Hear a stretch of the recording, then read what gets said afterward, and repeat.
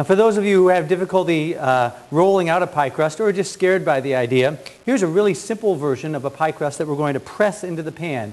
Um, it's, uh, it's particularly helpful because it uses trans fat-free canola oil. Um, it's easy to do and it's delicious. So I'm going to use uh, all-purpose flour. We're going to season our pie crust with a little bit of sugar and some salt. And then in goes the canola oil. I have canola oil and a little bit of milk. I'm just going to blend the two of them together. Stir it around a little bit with my finger, and in we go.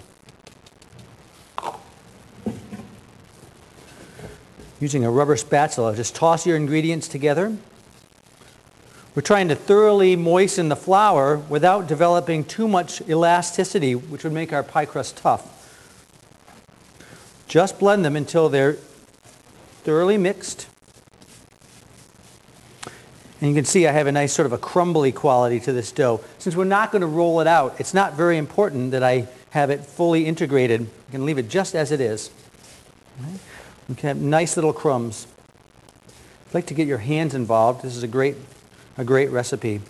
And for that matter, it's a great recipe for kids. I think a lot of the time kids are scared by the idea of rolling a pie crust. If it tears, it doesn't really work very well. So this is a great recipe. Now, I'm going to take some of this dough, just press it into my pan.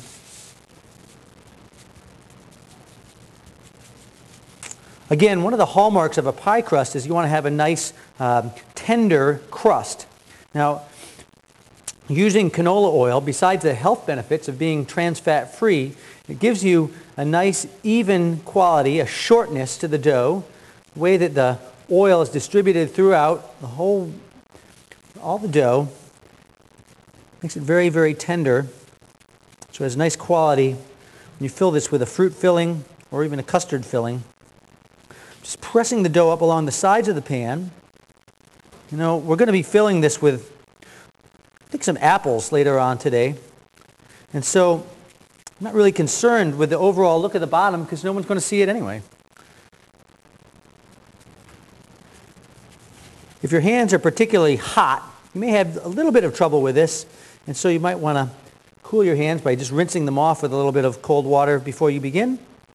And once the dough has been pressed evenly into the pan, and I'm try, not trying to smear it so much as to just press it, we're going to put it in the refrigerator for a few minutes to chill.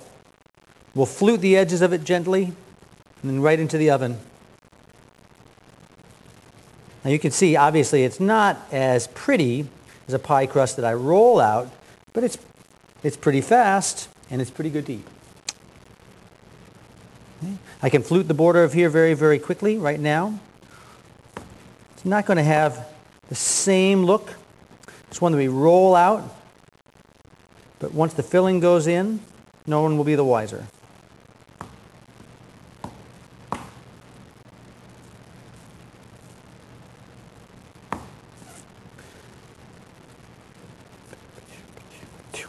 There we have it. Pat in the pan pie crust.